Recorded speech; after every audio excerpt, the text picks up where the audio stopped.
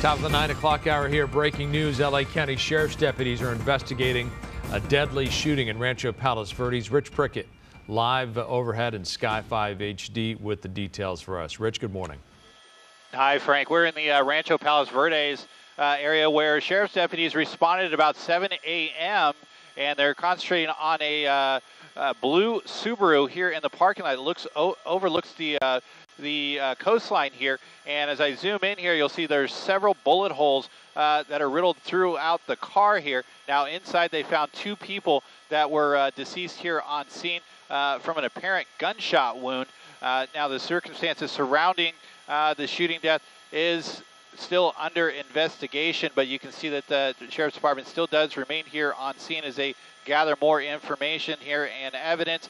And again, this is a uh, blue Subaru that was found in a parking lot riddled with uh, uh, bullets, and two people were dead inside.